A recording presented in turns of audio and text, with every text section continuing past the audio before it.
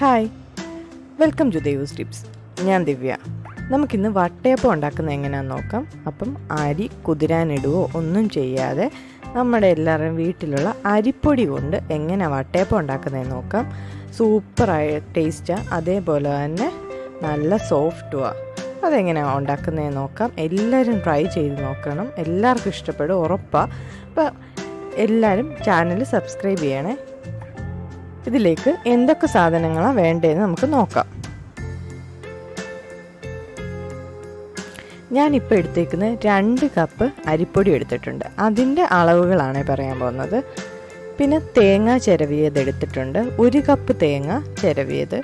അല്ലെങ്കിൽ ഒരു വലിയ തേങ്ങ. പിന്നെ വേണ്ടത് ഇച്ചിരി ഉപ്പ് എടുത്തിട്ടുണ്ട്. പിന്നെ പഞ്ചസാര പത്ത് ടേബിൾ സ്പൂൺ എടുത്തേക്കുന്നത്. ഈസ്റ്റ് ഒരു ടീസ്പൂൺ എടുത്തിട്ടുണ്ട്. പിന്നെ നമ്മുടെ നോർമൽ ചോറുണ്ടല്ലോ ചോറ് എടുത്തിട്ടുണ്ട് അര കപ്പ്. പിന്നെ വേണ്ടത് ഏലക്ക ഞാനൊരു അഞ്ച് ഏലക്ക എടുത്തിട്ടുണ്ട്.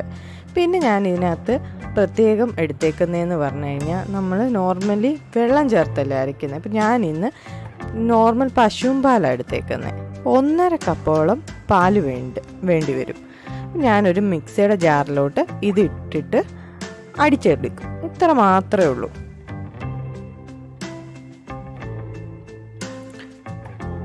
അപ്പോൾ ഞാൻ കുറേശ്ശെ കുറേശ്ശെ എന്റെ കയ്യിലുള്ള ജാറ് ചെറിയ ജാർ അപ്പോൾ കുറേശ്ശെ കുറേശ്ശെ ആയിട്ട് സാധനങ്ങൾ ഇട്ടിട്ട് നല്ല പേസ്റ്റായിട്ട് അരച്ചെടുക്കാൻ പോവാം.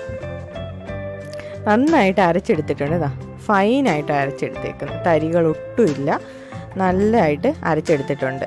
ഒരുപാട് തിക്കും അല്ല ഒരുപാട് ലൂസും അല്ല അപ്പോൾ ഈ ഒരു കൺസിസ്റ്റൻസി എന്ന് പറഞ്ഞാൽ നമ്മുടെ ദോശമാവിന്റെ കൺസിസ്റ്റൻസിയിലാണ് ഇപ്പം ഞാൻ അരച്ചെടുത്തേക്കുന്നത് ഇനി ഇതൊരു മൂന്ന് മണിക്കൂർ തൊട്ട് ആറ് മണിക്കൂർ വരെ വെക്കണം. ഇത് പുളിച്ച് പൊങ്ങാൻ വേണ്ടി. ഇപ്പം ഞാൻ എനിക്ക് നാല് മണിക്കൂർ എടുത്തേക്കുന്നത് വേണ്ട മാവൊക്കെ നന്നായിട്ട് പുളിച്ച് പൊങ്ങിയിട്ടുണ്ട്. ഇനി നമുക്ക് നന്നായിട്ട് ഇത് മിക്സ് ചെയ്ത് കൊടുക്കണം. ഈ സമയത്ത് നമുക്ക് പഞ്ചസാരയോ ഉപ്പോ എന്തെങ്കിലും വേണമെന്നൊന്ന് ടേസ്റ്റ് ചെയ്ത് നോക്കണം. എനിക്ക് മധുരമൊക്കെ കറക്റ്റാണ് ഞാനിപ്പോൾ രണ്ട് കപ്പ് അരിപ്പൊടിക്ക് പത്ത് ടേബിൾ സ്പൂൺ പഞ്ചസാര എടുക്കുന്നത് അപ്പം ഞാൻ നോർമലി അത്രയും യൂസ് ചെയ്യുന്നത് എനിക്കത് കറക്റ്റാണ് നമുക്ക് ഇനി ഇത് സ്റ്റീം ചെയ്തെടുക്കണം. അപ്പം ഞാനൊരു ഇഡ്ഡലി കുട്ടത്തിലോട്ട് ഏത് പാത്രത്തിലാണോ ഉണ്ടാക്കുന്നതെന്ന് ചോദിച്ചാൽ അതിനകത്ത് കുറച്ച് എണ്ണയോ നെയ്യോ തൂത്തിട്ട് ഞാൻ ഇപ്പോൾ എണ്ണ തൂത്തിട്ടുണ്ട്. എന്നിട്ട് ഈ മാവ് ഒഴിച്ചു കൊടുക്കണം. ഇതൊക്കെ എല്ലാവർക്കും അറിയാവുന്നതായിരിക്കും. പിന്നെ അറിയാൻ വയ്യാത്തവർക്ക് വേണ്ടി പറയുന്നതാണ്.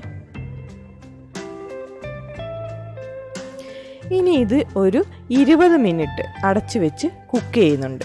അപ്പോൾ ദാ രണ്ട് വട്ടയപ്പം ഞാൻ ഉണ്ടാക്കിയേക്കുന്നത്. ഇനി നമുക്കിത് ഇളക്കിയെടുക്കണം.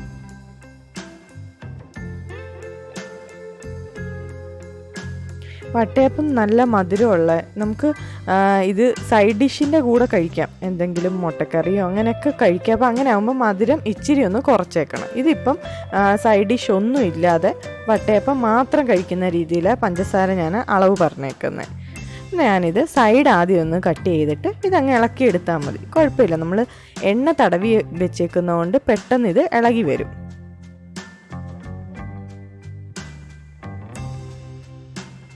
നമുക്ക് തിരിച്ച് വെച്ചിട്ട് ഒന്ന് തട്ടി കൊടുക്കാമെങ്കിൽ ഇതിങ്ങനെ ഇളകി വരും. സൈഡൊക്കെ ആദ്യം ഇങ്ങനെ കൈമച്ച് ഇങ്ങനെ ഒന്ന് ഇളക്കാമെങ്കിൽ പെട്ടെന്ന് ഇളകി വരും. അടിഭാഗം നന്നായിട്ട് ഇളകി വരും. ഇങ്ങനെ ഇങ്ങനെ ഒന്ന് ചെറുതായിട്ടൊന്ന് അനക്കി കൊടുത്തു കഴിഞ്ഞാൽ.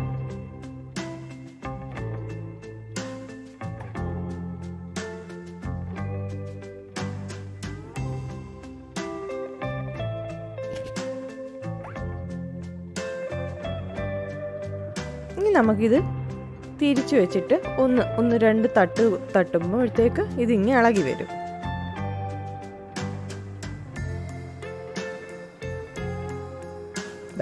നമ്മുടെ വട്ടയപ്പം വന്നിട്ടുണ്ട്. അടുത്തതൂടെ ഞാൻ അതുപോലെ ഇളക്കിയെടുക്കാം.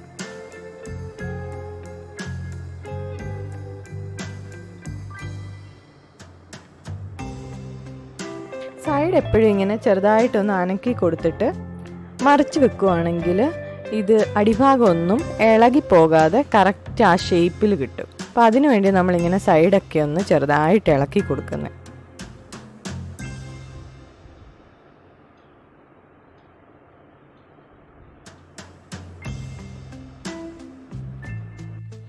നമുക്ക് തിരിച്ചു വെച്ചിട്ട് രണ്ട് മൂന്ന് തട്ട് തട്ടുമ്പോൾ കറക്റ്റായിട്ട് ഇതിങ്ങനെ ഇളകി വരും.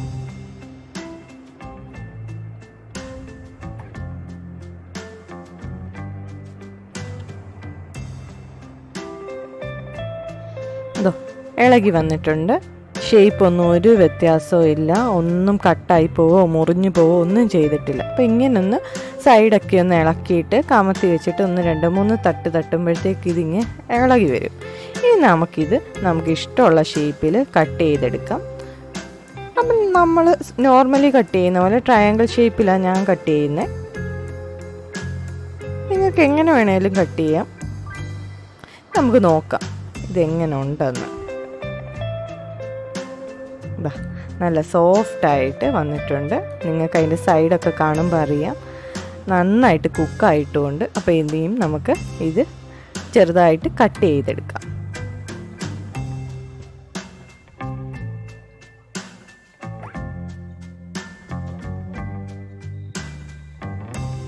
അപ്പോൾ ഇത്രയേ ഉള്ളൂ നമ്മുടെ വട്ടയപ്പം.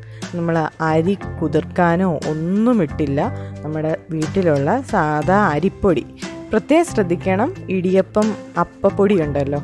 ആ പൊടിയും വെച്ചാണ് നമ്മൾ ഉണ്ടാക്കിയേക്കുന്നത്. പുട്ടുപൊടിയും വെച്ച് ഇത് ഉണ്ടാക്കരുത് അപ്പം നമ്മുടെ വീട്ടിലുള്ള അരിപ്പൊടി വെച്ച് ഉണ്ടാക്കിയേക്കുന്ന സാധനമായത് നല്ല സോഫ്റ്റാ അതേപോലെ നല്ല ടേസ്റ്റുമാണ് അപ്പോൾ എല്ലാവരും ട്രൈ ചെയ്ത് നോക്കണം. വീഡിയോ കാണുന്നവർ ചാനൽ സബ്സ്ക്രൈബ് ചെയ്യാൻ മറക്കരുത്.